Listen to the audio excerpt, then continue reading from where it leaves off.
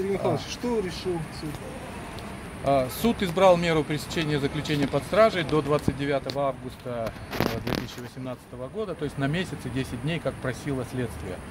А, но хотел бы отметить, что это постановление суда, э, к сожалению, или опять же, было принято в нарушении уголовно-процессуального законодательства, в нарушении прав и свобод непосредственно Ибраимова. Теперь уже я так понимаю, что э, в связи с подписанием премьеров освобождения от должности уже экс-мэра. А, какие нарушения? Суд, во-первых, э, именно Первомайский суд почему-то до сих пор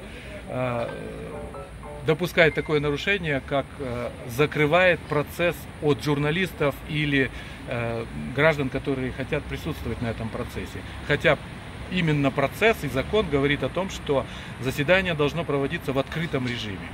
Это нарушение уже ну, не стали допускать в городском суде, в Верховном, а Первомайский суд по-прежнему рассматривает в закрытом режиме. Это вот первое. Э, заявили отвод судье, судья отклонил этот отвод в связи с тем, что он не допустил журналистам. А, заявили ходатайство, он опять отклонил ходатайство об открытии процесса.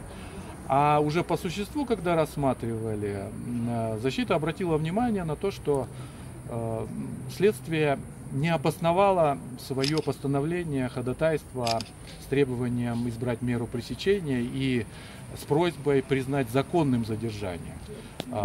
Здесь много моментов. Я не успею вам сегодня рассказать об этом, но думаю, в следующие дни дополню свое выступление. Но первое. Во-первых, предъявленное обвинение по статье 166 не является подследственностью ГКНБ. Это мошенничество. Уголовное дело, по которому предъявлено обвинение, возбуждено по 171 статье. Без возбуждения уголовного дела по 166 предъявлено обвинение. Это прямое нарушение еще одно Уголовного процессуального кодекса. Подследственность, отсутствие возбужденного уголовного дела. Далее, обоснованность. Ни одного документа, который бы обосновывал позицию следствия.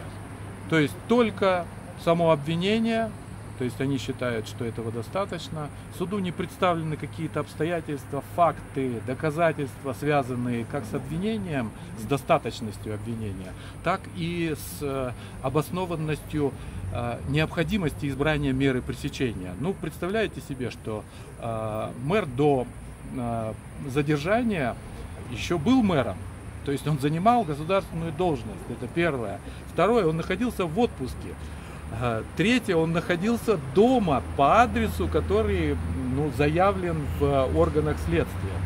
И следствие, нарушая процесс, а, пыталось вот э, спецназом, э, представителями органов дознания, большой группой органов дознания э, обеспечить принудительную явку в ГКНБ. И при этом заявляют, что Албек Ибраимов скрывается от следствия. Ну, если он находится дома, он же не скрывается, или я не дружу с логикой, простите. Вот единственный рапорт э, одного из сотрудников органов дознания, собственно, присутствовал в этих материалах. И все. Ни повесток, о которых говорило следствие, что ему а, предъявлялись повестки или а, он вызывался на а, допросы, Э, этого не было. Ни постановления о принудительном приводе и так далее. То есть перечислять очень много можно.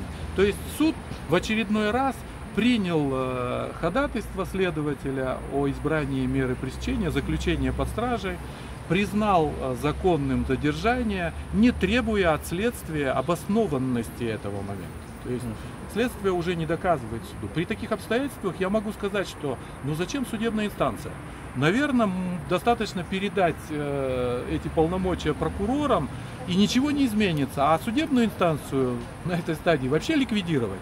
А, Но тогда как будет вы, более правдиво. Извиняюсь, как вы прокомментируете заявление о том, что Албек Ираимов угрожал вооруженным сопротивлением я, я по могу, поводу своего задержания? Я могу сказать, что это всего лишь навсего заявление неизвестных лиц.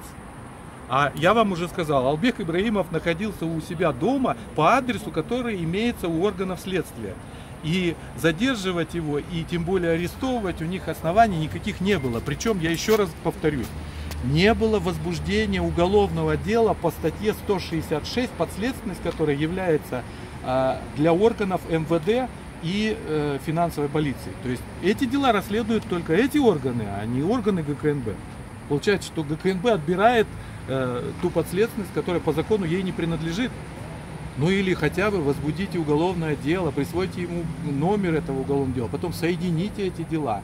И потом только вы можете предъявлять. Это, как заметил судья в процессе, э, не нужно нам, собственно говоря, рассказывать об известном. Но он сказал по-другому, но смысл был, был тот же. Ну, если такое нарушение допускается, то защита просто обязана говорить об этом. Ну, простите за долгий такой вот